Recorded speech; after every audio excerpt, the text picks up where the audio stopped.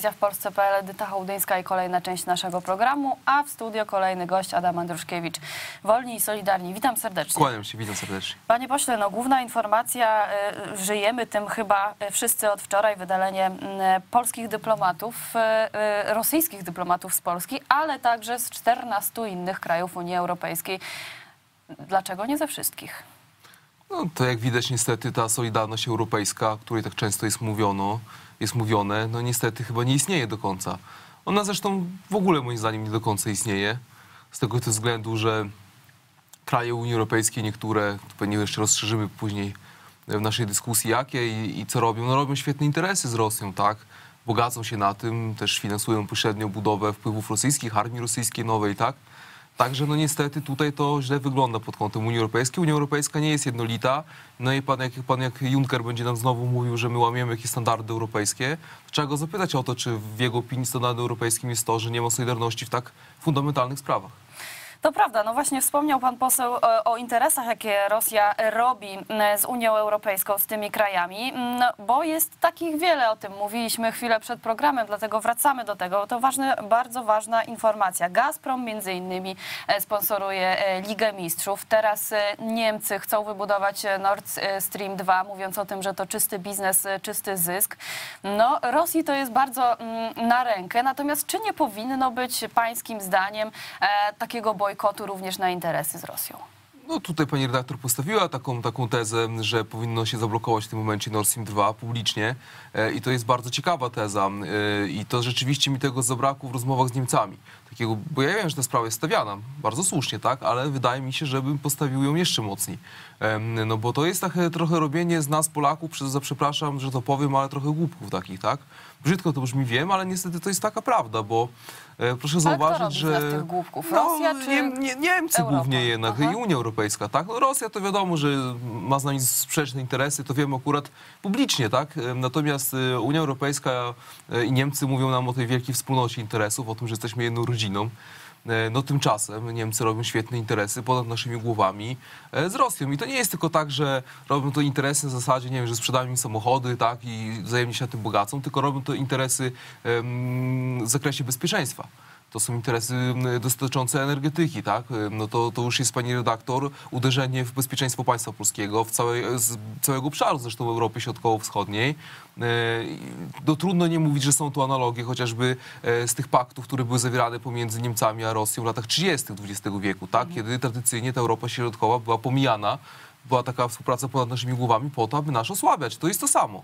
Tylko życie pięknie ubrane w ładniejsze słowa. No i polski rząd o tym mówi. Rzeczywiście to trzeba oddać e, od dwóch lat na arenie międzynarodowej. Próbuje zablokować Nord Stream 2. Teraz e, coraz więcej słychać tych głosów e, sprzeciwu kraje nadbałtyckie, ale także ostatnio Stany Zjednoczone mówią o tym, że Nord Stream 2, rozbudowa tego gazociągu to jest czysta polityka dla Rosji i że tak to trzeba wprost nazywać. Czy rzeczywiście, panie pośle, może dojść do takiego zwrotu, innego myślenia, także o tych interesach e, rosyjskich, właśnie po tym, co się stało? No, mamy próbę zabójstwa e, rosyjskiego szpiega w Wielkiej Brytanii, mamy teraz e, sytuację z wydalaniem mm, dyplomatów z krajów Unii Europejskiej, Stanów i Kanady. Czy to pomoże? Szczerze mówiąc, ja tutaj nie jestem wielkim optymistą, dlatego że już po pierwsze sygnał był taki, że nie wszystkie kraje Unii Europejskiej wzięły udział w, tym, w tej akcji odsłania dyplomatów. To już jest pierwszy, pierwszy sygnał, że nie ma tu jednomyślności i że na niektórych ważniejsze są jednak pieniążki. Drugi sygnał jest taki, że wpływy rosyjskie w poszczególnych państwach Unii Europejskiej są bardzo silne. E, I wbrew temu, jak się przedstawia Polskę, tak, że to Polska jest jakimś tam zalążkiem dyktatury, tam takie głupoty różne opowiadają na nasz temat, e, no to właśnie wpływy rosyjskie w Polsce są e, bardzo słabe w mojej opinii. Być może są na pewno gdzieś tam agenci. Słabe? Moim zdaniem są słabe. Na A tle tego. szpiega w Ministerstwie Nie, no to szpiedzy szpiedzy są wszędzie, panie rektorze. W każdym państwie są szpiedzy, tak? To, to jest jasne. I na placówkach oczywiście są zainstalowani Mhm. Też bardzo często pod przykrywką. E, To jest wiedza powszechnie znana. Natomiast chodzi mi o to, że są słabe w chociażby w przeciwieństwie do niektórych państw. Ja tu nie może nie będę nazywał wprost, jakie państwa na myśli, ale są w naszym regionie i są w Unii Europejskiej. Tam są wiele silniejsze lobby prorosyjskie, proszę mi wierzyć. E, To nie to, że ja bym chciał tutaj bagatelizować w Polsce, tak? Absolutnie. Tylko chodzi mi o to, że niestety obawiam się, że te państwa nie dopuszczą do bojkotu niektórych interesów rosyjskich w Polsce i w Unii Europejskiej. Bo Mhm. tam są te, wpły- te wpływy sięgają samych szczytów władzy. Zresztą w Polsce też sięgały szczytów władzy. No, No przepraszam właśnie. bardzo, no oddawanie śledztwa Rosjanom, to co to było? Czyli e, Platforma Obywatelska była bardziej przyjazna Rosji, to chce pan powiedzieć? No pewnie, że tak. Zresztą, panie redaktor, mnie bardzo śmieszą te argumenty Platformy, że dziś władza jest prorosyjska, czy tam tweety Tuska, który próbował manipulować e, polski rząd w, we współpracy z jakąś tam dla Rosji wręcz praktycznie, że to jest na korzyść, że Putin się cieszy, tak? Tak.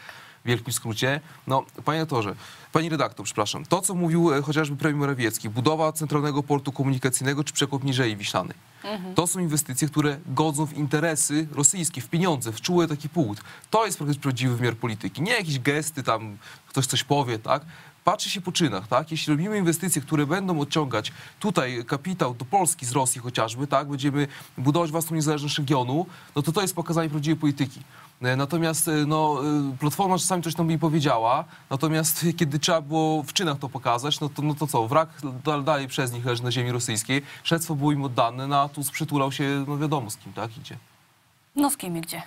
Z Władimirem Putinem po katastrofie smoleńskiej, tak, no teraz nakłada marynarki na Junckera, no to taki nasz polityk właśnie jest, no.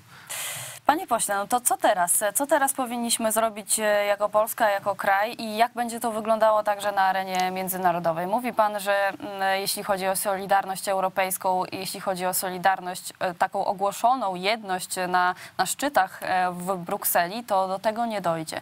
To w takim razie jak Polska powinna teraz prowadzić politykę, no nie tylko mm, relacje mm, rosyjskie, ale także w Brukseli? Ja bym przede wszystkim skupił się na tym, aby ten, e, tą kartę e, rosyjską, brzydko to zabrzmi, no to jest polityka międzynarodowa, tak to wygląda, e, wręcz rozgrywać w kontekście tego, jak nas dzisiaj pouczają w Unii Europejskiej. Za każdym razem, kiedy jest procedura artykułu 7 omawiana przeciwko Polsce, jakieś debaty i tak dalej, ja bym wyciągał tą kartę i pokazywał bardzo konkretne przykłady. Dobrze było, żeby, żeby jakieś gremium przygotowało się, rozpisało, jak wygląda konkretnie współpraca danego państwa z Rosją. Na jakim etapie to wygląda, jak wygląda soft power i tak dalej, gdzie są te sponsoringi właśnie Gazpromu i tak dalej. I wtedy bym wyciągał i pytał publicznie, przepraszam bardzo, państwo się nas czepiacie, tak, za to, że robimy reformy w kraju. Państwa kraj robi to, to i to, robi inwestycje strategiczne ponad naszymi głowami z Rosją właśnie, finansując odbudowę rosyjskiej armii. Więc ja bym po prostu w ten sposób rozgrywał. No i oczywiście Stany Zjednoczone, no ten kierunek też jest ważny, no bo od Waszyngtonu bardzo w tej kwestii dużo zależy. Wbrew temu, chociaż co się mówi, Stany mają duży wpływ ciągle na Niemcy, chociażby przez to, że jest tam potężna baza wojsk amerykańskich, tak?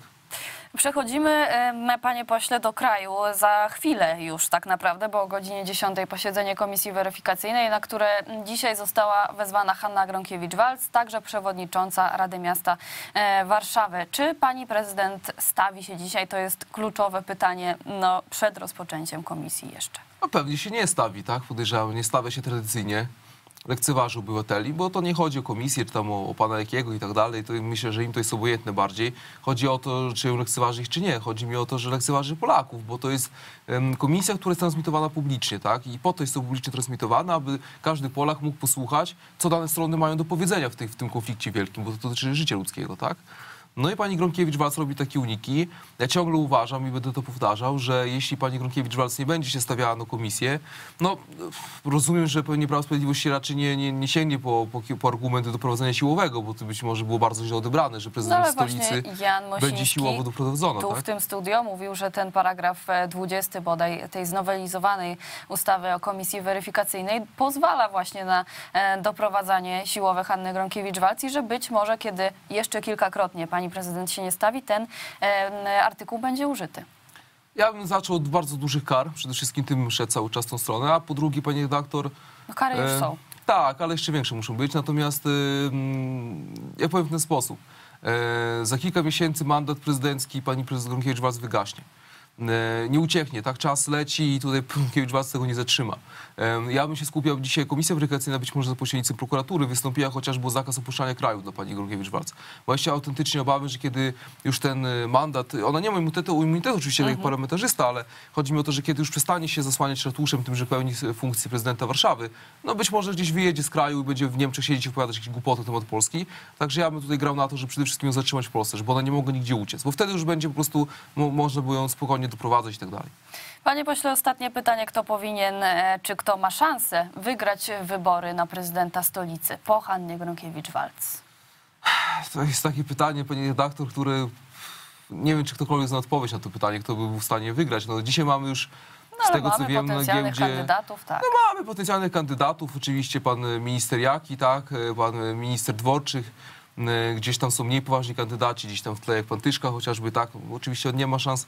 No A myślę, dlaczego że... pan Tyszka jest mniej poważnym kandydatem? Nie, no nie ma szans oczywiście, no ja daję maksymalnie do, do 3-4%, tak, maks w takich wyborach, więc to jest realne poparcie Tyszki, mojej opinii w Warszawie. Natomiast, no nazwiska są dwa, albo pan Dworczyk, albo pan Ostatnio Jak. pisał pan rzeczywiście bardzo niepochlebnie na Twitterze o panu Tyszce. Panu byłym partyjnym koledze zresztą. No, no tak, bo nie tak, to no właśnie z tego względu, że byliśmy w jednym grupowaniu, to ja znam doskonale jego działania od wewnątrz i powiem szczerze, naprawdę, one niewiele się różnią od tych najgorszych gierek opozycji totalnej i naprawdę przed tym człowiekiem przestrzegam wszystkich. No właśnie, zrównywał pan działania opozycji totalnej z działaniami pana Tyszki. Tak, Dlaczego? no to ja nie ukrywam, że przez, przez, nie, przez niego między innymi wystąpiłem z Kukiz 15, dlatego że to była osoba, która ciągle jakby donosiła na mnie, że jestem zbyt bliski polskiemu rządowi, yy, próbował mnie blokować w różny sposób, tak, i żeby nie występował publicznie, robił wszystko, żeby mnie gdzieś tam wyłączyć z tego półobiegu publicznego. No to, no to niestety, no nie po drodze, no to nie po drodze, tak, no pan Tyszka jest y, nietykalny Kukiz 15, niech tak będzie dalej, zobaczymy jak to się skończy. Adam Andruszkiewicz, Wolni i Solidarni. Bardzo dziękuję. Dziękuję bardzo. Dziękuję również Państwu za uwagę w tej części naszego programu, a za chwilę po krótkiej przerwie wracamy.